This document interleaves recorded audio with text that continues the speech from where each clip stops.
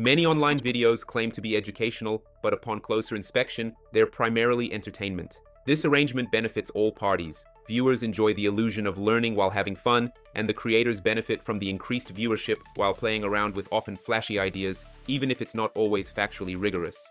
But I feel that real learning isn't meant to be fun. It should feel like effort. It should resemble a serious gym session more than a 10-minute full-body workout from your favorite digital media creator. You want the mental equivalent of sweating. It's helpful to clearly define your intent upfront as a sharp, binary choice in your mind. When consuming content, ask yourself, are you seeking entertainment or education?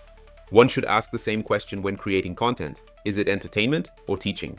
The reason I say often is because there are times when entertainment can act as a trigger for future learning opportunities, like that time when you read a book as a teenager and that inspired you to study to become an astronaut. Unless you are trying to learn something narrow and specific, if you really want to learn, close the multitude of tabs filled with summaries of summaries, the Learn XYZ in 10 minutes videos, and think about the opportunity cost of snacking on superficial content versus opting for the substantial meal. The research papers, your textbooks, the forgotten manuals, and their long-form updates. Allocate a few hours per day, and do not stop at simply reading the damn thing, but also engage with the reading material.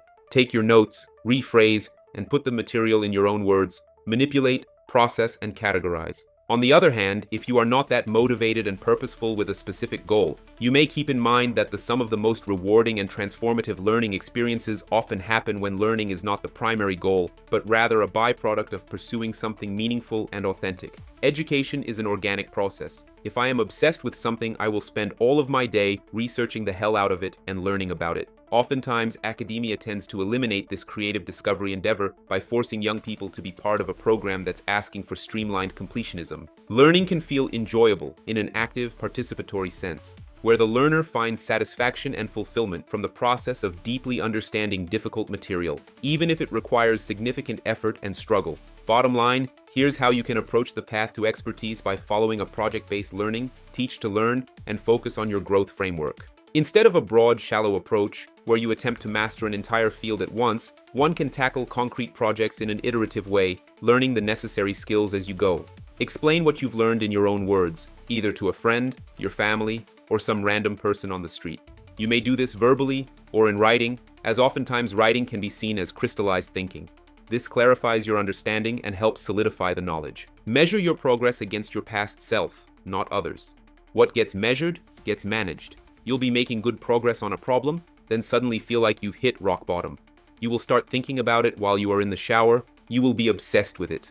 Also keep in mind that you cannot be productive all day, every day. You need time to rest and reassess.